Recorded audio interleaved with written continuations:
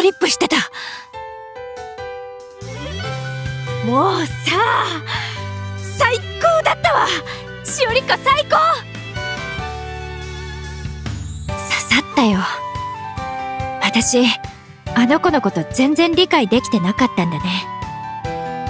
なんかようやくしおり子と正面から会話できたような気がする。ありがとね。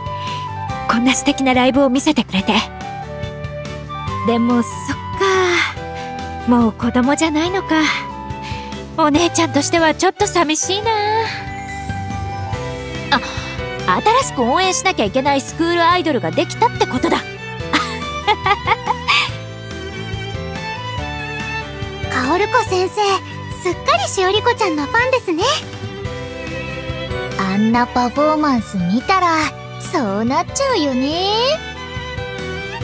皆さん見てください。SNS にしおりこさんのライブについてのコメントがこんなにどんどん増えて追い切れま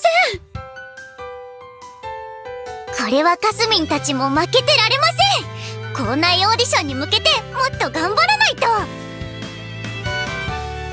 私もスクールアイドルのためにもっと頑張んないとね。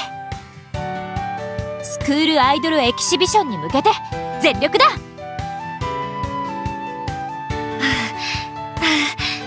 姉さん見てくれましたか？どうでした？私のライブ。完全にやられた。ガツンときたわ。ごめんねしおり子私あんたがあんな風に思ってたなんて全然気づいてなかった。分かってます。それが姉さんです。分かってるのに私も言い出せなくてずっとモヤモヤしてたんです。それは私の責任です。どうせ伝わらないと諦めてしまっていたのですから。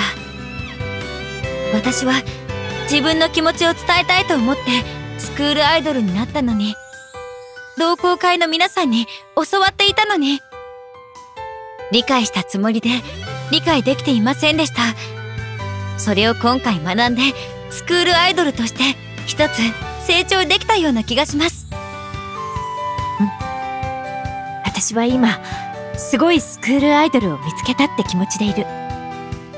しおり子は私が全力で応援したいスクールアイドルだよ。姉さん。